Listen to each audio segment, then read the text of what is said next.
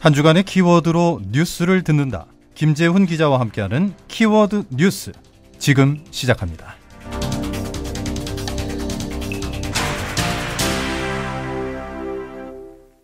네, 키워드 뉴스 시간입니다. 제주투데이의 김재훈 기자와 이 시간 함께하도록 하죠. 김 기자님 안녕하세요. 네, 안녕하세요. 예, 자 비를 뚫고 오셨습니다. 뭐 비 많이 내리지 않았어요 오는 동안에? 예, 잠시 소강된 상태였습니다. 예, 네. 때 맞춰서. 네, 열심히 예. 달렸습니다. 그래서. 알겠습니다. 김 기자의 방송하러 가는 길을 하늘이 잠깐 열어주셨습니다. 어. 자, 어, 저희가 계속 말씀드리고 있는데요. 어, 저희 화요일에 보내드리고 있는 키워드 뉴스 시간은 라디오 제주 시대와 어, 그리고 뉴스 어, 제주 투데이와 함께 어, 공동으로 좀 제작을 하고 있습니다. 저희 방송을 통해서 이 방송된 내용들은 다음 날 제주투데이 홈페이지에서도 확인하실 수가 있습니다. 자, 그럼 오늘 첫 번째 키워드 살펴보도록 하죠. 일괄이냐 선별이냐입니다.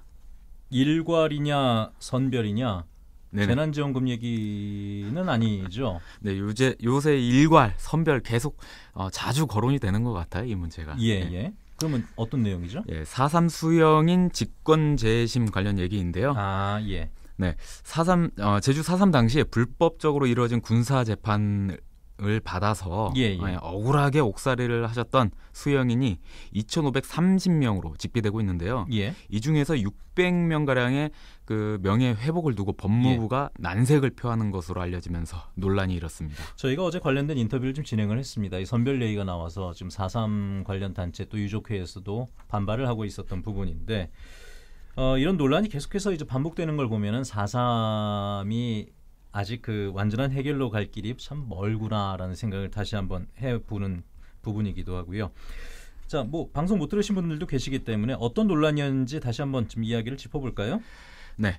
제주 4.3 사건 진상규명 및 희생자 명예회복에 관한 특별법 어, 지난 3월에 개정되고 6월부터 시행 중인데요. 예. 이 법에 따라서 불법 군사 재판을 통해 유죄 판결을 받은 수영인에 대한 직권 재심 청구를 앞두고 있는 상황입니다. 예. 법무부와 4.3 중앙위원회 그리고 행정안전부 등이 논의를 진행하고 있는데요. 특별법 어, 제14조에 보면 그 희생자로서 제주 4.3 사건으로 인해 유죄의 확정 판결을 선고받은 사람이나 수영인 명부 등 예. 관련 자료로서 위와 같은 사람으로 인정되는 사람은 재심을 청구할 수 있다고 명심하고 있습니다. 예, 재심을 네. 청구할 수 있다. 네, 네. 용어 자체가 어려운 부분이 있으니까 직권 재심에 대해서도 설명을 해주시죠. 네, 직권 재심 제도란 제재 대상자의 권리를 구제하기 위해서 제재, 제재 조치가 증거 서류의 오류, 누락이나 법원의 무죄 판결 등으로 위법, 위법 또는 부당하다고 인정되는 경우 예. 조치권자가 재차 심사해서 어, 제재 조치를 다시 결정하는 그런 제도입니다. 예. 아, 이렇게 말해도 또 어려운데요. 아, 쉽게 말씀드리면 4.3의 경우 불법 군사 재판으로 유죄 확정 판결을 받은 이들에 대해서 법무부가 직권으로 재심 재판을 다시 진행해서 예. 어, 당시 불법 어, 당시 불법 군사 재판으로 받은 재판 결정을 취소하거나 음. 변경할 음. 수 있도록 한 겁니다. 이렇게 되면 그 재판 자체가 부당한 재판이 되는 거니까요? 네, 그렇습니다. 어, 당시 불법 군사 재판에 대한 국가 책임이 있으니까 예. 대한민국 법무부가 그 책임을 지고 재심을 직접 진행하도록 한 조치가 바로 직권재심 음. 그 제도입니다. 예. 그 희생자가 아니라 사법 당국이 스스로 하도록 하는 이런 예. 조치를 지금 특별법에 어, 반영을 한 상황인데요. 그러니까 당시 억울하게 수영 생활을 하신 분들이 계시잖아요. 그분들께서는 평생을 그 죄인이라는 낙인에 찍혀서 고통받고 사셨던 분들인데 네네. 그리고 지금 살아계신다 해도 굉장히 고령이시고 그렇습니다. 그런 분들을 위해서는 이 자체는 사법당국이 스스로 하도록 했으니까 합당한 조치 같은데 말이죠. 네네. 희생자들은 70여 년 전에 불법으로 군사재판을 받아서 옥살이를 하셨는데요. 예. 어, 원체 오래된 일인 만큼 이미 돌아가신 분들이 대, 어, 대다수입니다. 그렇죠. 재심은 그분들의 명예 회복을 위한 가장 기본적인 조치인데요. 이 재심이라는 그 과정을 거쳐야 예, 예. 그 당시 불법 군사 재판에 대한 어떤 어, 판결을 내릴 수 있기 때문입니다. 그렇죠. 결정을 내릴 수 있기 때문입니다. 그러고 보니까 최근 몇 년 동안 좀 생존에 계신 고령의 그 수영인들께서 네. 재심을 네. 청구해서 어, 법원으로부터 사실상 무죄 취지의 결정들을 받아내기도 했잖아요. 네, 그렇습니다. 사삼 관련 시민단체와 그 생존 수영인 어르신들이 어, 함께 재심, 재심을 청구하면서 법원으로부터 공소 기각 등 사실상 무죄를 인정받았습니다. 그 법원에서 무죄 취지 판단을 받고서 어, 법원을 나서시는 어르신들 그 예, 표정을 예. 직접 봤는데요. 아 정말 화냈습니다. 환하게 웃으셨습니다. 만세도 부르셨고요. 나는 죄 없는 사람이오다 이렇게 말씀하시는 것도 제가 봤는데 네네. 그죠? 70여 년의 세월 동안 죄 있는 사람이었다가 마지막에 죄 없는 사람이 된 거니까 그 분들의 마음이 사실 보면서도 이해는 되면서도 다 이해하기가 어려운 좀 상상하기 어려운 부분들이 있죠. 네, 그 아, 정말 긴 시간이잖아요. 70여 그렇죠. 년. 그 시간을 이 죄인이란 낙인에 찍혀서 살아오셨으니 얼마나 고통스러운 시간이었을까. 또 예. 자식들에게 굉장히 또 마음에 짐이 있으셨다고 하셨는데요. 음, 아, 그런데 생, 이렇게 생존해 계시는 분들 몇 분 되지는 않습니다. 정말. 예. 그 재판 전으로 돌아가신 분들도 계시고요. 어, 뒤이어 이 어, 생존 수형인 재심과 이에 재- 재심에 뒤이어서 사망하신 분들 사양, 사망 수형인에 대해, 대해서도 어, 최근 지, 제주지방법원에서 무죄 선고 취지 결정이 나오고 있는 상황인데요. 예.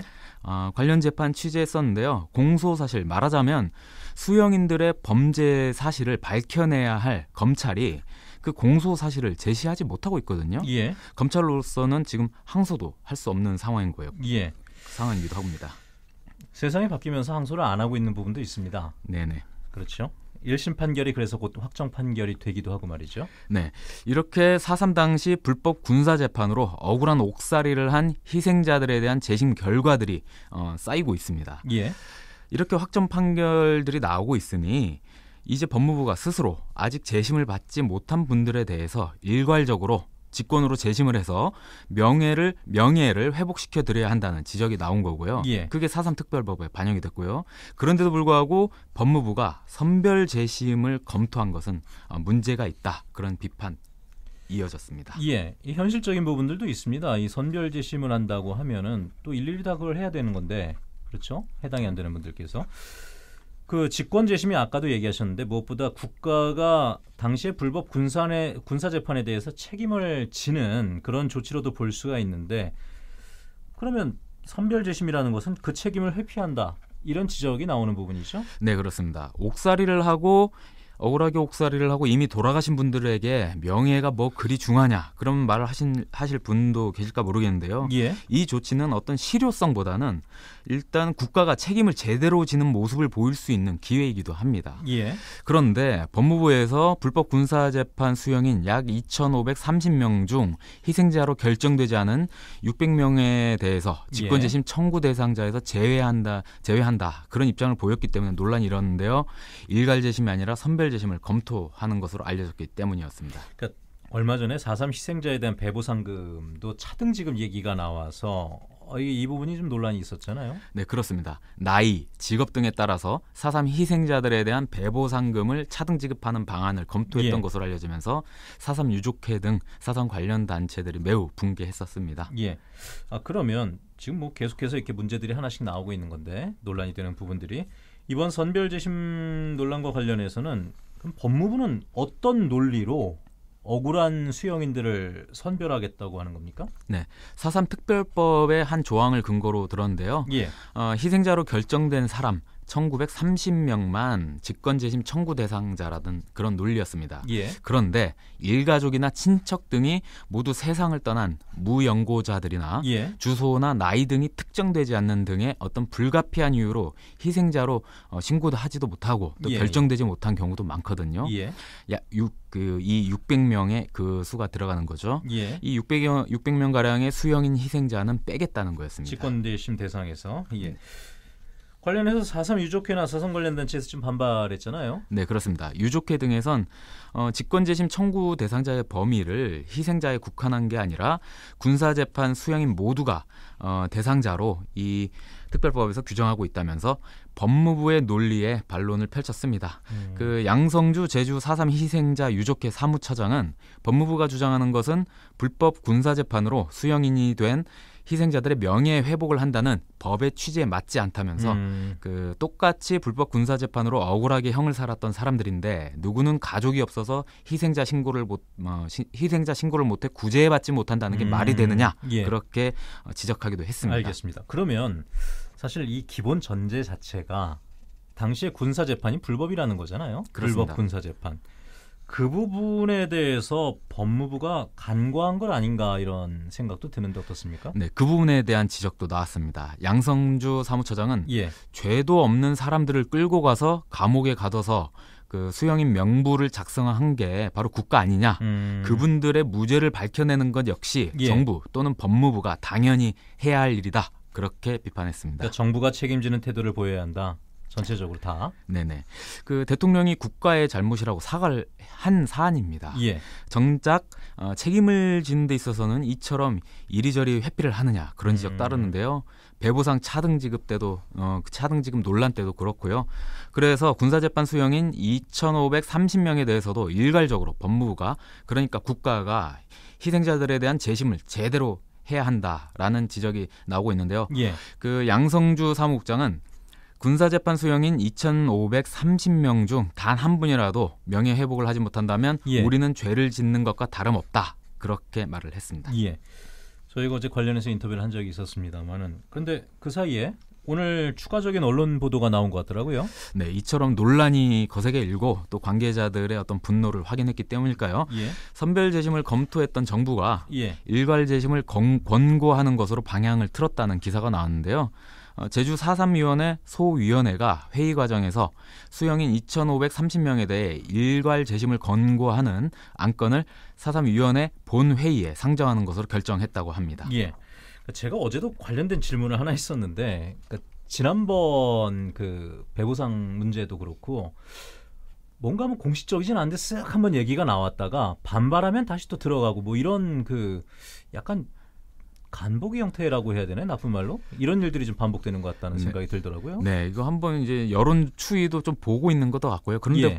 그렇게 흘러난 것 같지도 않아요. 왜냐하면 이게 내, 내용을 이제 일부러 흘리는 것 같지는 않은 게 예. 굉장히 이제 언론 쪽에다가 예. 아, 어떻게 알았냐 예. 뭐 그런 이제 또 어필도 하고 그렇습니다. 예. 그 그러니까 근데 우리 그 인간관계에서도요. 너만 알고 있어라는 말이 예? 너만 알고 있어라는 얘기가 아닌 경우들이 많긴 해요. 네네. 이건 좀 정확히 알 수는 없는 부분이라서 맞습니다. 뭐 그거는 이제 자꾸 이제 주변에서 얘기가 나오니까 제가 한번 여쭤본 것이고 알겠습니다. 자 그러면은 앞으로 어떤 과정을 거치게 됩니까? 네, 일괄재심 관련 안건이 제주 4.3위원회 전체 회의에 올려지게 되는데요. 이 제주 4.3위원회는 국무총리가 위원장을 맡고 있습니다. 예. 법무부 장관과 그리고 행정안전부 장관, 제주도지사 등이 당연직 위원을 맡고 있는데요. 어, 제주 4.3위원회 전체 회의를 통과하게 되면 일괄 재심이 확정됩니다. 예. 알겠습니다. 그 다시 한번 그 유족들에게 상처를 주는 일들은 좀 없었으면 좋겠다라는 생각이 들기도 하고요. 최종적으로 갈 길이 아직 멉니다. 이게 해결이 다 된 것이 아니라는 것을 우리가 잊지 말아야겠습니다. 자, 두 번째 키워드 가보도록 하죠. 월화수목 111입니다. 월화수목 금금금은 많이 들어봤는데 월화수목 111 이거는 뭡니까? 일요일이 세 3일이나 있다는 얘기인데. 네, 월화수목 금금금은 예. 그 주말이 없지 또 일만 하고 있다 그런 예, 예. 의미지 않습니까? 월화수목 111 아, 주 4일 근무제와 관련해서 이 얘기를 아, 해보려고 합니다. 지금 주 5일 근무제 네 그렇습니다. 사실 완전히 정착된 것도 아니지만은 네. 주 4일 근무제에 대해서 이야기를 해보신다고요? 네네. 개인 사심을 지금 방송에서 이야기하시는 겁니까? 예, 사심 맞고요. 그 아마도 거의 모든 노동자들의 예. 사심 그러니까 우리 전체의 마음이 또 아닐까 예. 그런 생각도 드네요. 사람은 쉬는 걸 좋아하죠. 네. 근데 뭐 일부 선진국에서는 주 4일 실험을 하는 경우들도 있다는 제가 얘기를 본 적은 있습니다만은 네. 좀 이야기 한번 해볼까요? 네, 빨리 빨리라는 말로 상징되는 그 한국인의 노동 문화 예. 그 그만큼 안전 사고도 많이 일어나고 있는데요. 어, 빨리만 일하느냐 그것도 아닙니다. 일을 또 빨리빨리 하는데 한국인들 노동하는 시간도 굉장히 깁니다. KDI 경제정보센터의 자료에 따르면 OECD 어, 소속 국가 38개국 그 통계를 분석했는데 예. 그 결과 2019년 기준으로 한국인의 연간 노동 시간이 1967시간이 됩니다. OECD 회원국 중 어, 2,137시간을 일하는 멕시코 다음으로 가장 길었습니다. 예. 그 어, OECD 평균이 1,726시간인데요. 어. 계산해 보면 OECD 평균보다 연간 241시간을 더 일하고 있다는 연간. 얘기입니다. 네. 예. 근데 그나마 주 5일 근무제 도입하면서 줄어들었다는 게 이 정도라는 얘기입니까? 네, 그렇습니다. 주 5일제는 2004년에 시행이 됐는데요. 예. 노동 시간을 주당 44시간에서 40시간으로 줄였습니다. 근데 이게 바로 적용이 된 것도 아닙니다. 예. 그 당시에요. 20인 미만 사업장의 경우는 2011년에야 적용이 됐습니다. 그래도 노동 시간이 획기적으로 줄어들지 않았고요. 예. 2018년에 추가적인 제도가 도입됐습니다. 바로 주 52시간제인데요. 예. 이런 제도가 나올 때마다 재계에서는 여러 가 불평을 이제 쏟아냈죠. 예. 그럼에도 한국 노동자들의 노동 시간 OECD 국가 중 두 번째입니다. 이게 자랑거리는 아닌 것 같습니다. 주월제 시행할 때 제 기억이 납니다. 그 당시에 이게 언론들, 유력 언론들의 헤드라인들. 아, 요즘 메이저 언론이라 그러잖아요. 네. 메이저 언론들 그 헤드라인 보면은 나라 망할 것 같았었거든요. 주월제 네. 시행하면은. 근데 망하진 않고 지금까지 잘 오고는 있습니다만은 그나마 주월제도 지금 제대로 정착된 건 아니란 말씀드렸고 어, 오늘 말씀하시는 이유가 제가 보니까 최근에 그 정의당 심상정 의원이 대선과 대선 공약을 내걸었는데 주 4일제를 공약으로 내건 것 같더라고요. 네, 그렇습니다. 대선 출마를 선언한 정의당 심상정 국회의원의 1호 공약이 이주 4일제입니다. 주 4일제 시대 변화를 반영하지 못하는 그런 어떤 낡은 근로기준법을 폐지하고 예. 신노동법을 제정해서 전 국민 주 4일제 어, 근무제를 도입하겠다. 음. 시- 어, 심상정 의원은 이렇게 밝혔는데요. 예. 심상정 의원은 2004년 주 40시간을 제도화한 뒤 예. 현재까지 노동 시간이 17년째 멈춘 상태라면서 유럽 연합의 예를 들었는데요. 예. 유럽은 어, 이미 30년 전에 주 35시간 지침을 정했다는 겁니다. 그 예. 한국의 경우 한참 늦었다는 얘기입니다. 음, 주 4일제가 글쎄요. 주 5일제 할 때도 그렇게 나라 망한다 그랬는데 주 4일제를 하면은 안 망할까요? 네, 한국에 정착할 수 있을까? 그 이제 고민을 예, 해봐야 예. 될것 같은데요. 예. 그 해외 사례는 굉장히 이제 실험을 많이 하고 있습니다. 예. 이런 실험은 한국에선 굉장히 늦어지는데 어, 해외 사례를 보면 아이슬란드 정부가 4년 동안 주 4일제를 실험을 했습니다. 예. 그러면서 스스로 정부가 이렇게 평가를 했습니다. 압도적인 성공이다. 그 BBC 코리아 보도에 따르면 아이슬란드가 어, 2005년부터 2019년까지 2,500명 가량을 대상으로 근무 시간을 주 40시간에서 주 35시간 가량으로 줄이는 실험을 했는데요. 예. 대다수 사업장에서 생산성이 늘거나 그 생산성이 유지됐다고 합니다.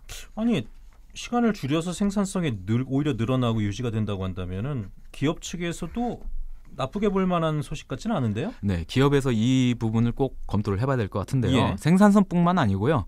그 당연한 얘기인 것 같지만 노동자들의 스트레스가 줄어들었습니다. 아, 또 번아웃이라 그러죠. 그 일하다가 몸과 마음, 몸과 영혼이 탈탈 털리는 예. 그이 번아웃도 줄어들었다고 합니다. 또 다른 국가, 국가에서도 이런 어, 실험을 하고 있습니다. 스페인에서는 올해 가을부터 주 4일제 실험에 나서고요. 예. 그리고 가까운 이웃 일본도 정부 차원에서 주 4일제 추진을 선언했습니다. 예. 자, 그러면 다른 나라들도 하고 있다라고 하면은 사례는 있으니까 예. 한국은 도입이 가능할까요? 정부 차원에서는 어, 추진하고 있지 않지만 예. 한국에서도 주 4일제를 시행하고 있는 기업들이 있습니다. 교육기업이죠. 에듀윌 예. 그리고 게임기업 카카오 게임즈 예. 그리고 카페 24 같은 기업들이 주 4일제를 전면 시행하고 있고요. 어, 이런 부분 또 어, 전면 시행하거나 격주로 진행하고 있는데 예. 어, 이런 주 전면적인 주 4일제가 아니라 또 중간 형태인 주 4.5일제를 실험하는 제도 어, 회사들도 있습니다. 매주 월요일에 1시에 출근하는 제도를 아, 시행한다는 겁니다. 예. 아, 뭐 기업들 몇 군데 얘기하셨는데 MBC와 제주투데이는 그 기업에 들어가 있지 않습니다. 네, 네. 어. 어쨌거나 기업 측에서도 이 부분에 대해서 발상의 전환이 좀 필요한 부분이 아닐까 싶긴 하네요. 네, 특히 코로나19가 이 주 4일제 논의에 기름을 붓는 효과를 어, 보이고도 있습니다. 유명 예. 호텔이나 면세점 등에서 어, 매출이 부진하니 임금은 동결시키는데 그 대신 다른 어떤 어, 보상이 있, 있어야겠죠. 그 대신 주 4일제를 택하고 있습니다. 예. 이런 논의 좀 더 활발하게 이어졌으면 아, 좋겠습니다. 특히 제주투데이와 MBC에서요. 예, 알겠습니다. 마지막은 정말 사심인데 근데 노동 생산성이 우리나라가 일하는 시간에 비해서 좀 떨어진다는 얘기들은 많이 나오고 있는데 오히려 일하는 시간을 줄여서 향상시킬 수 있다라면 또 역발상이 될 수도 있는 거거든요. 그렇습니다. 앞으로 사회적으로 검토해 볼 만한 부분은 있는 것 같습니다. 자, 오늘 이야기 여기서 마무리하죠. 제주투데이의 김재훈 기자였습니다. 고맙습니다. 감사합니다.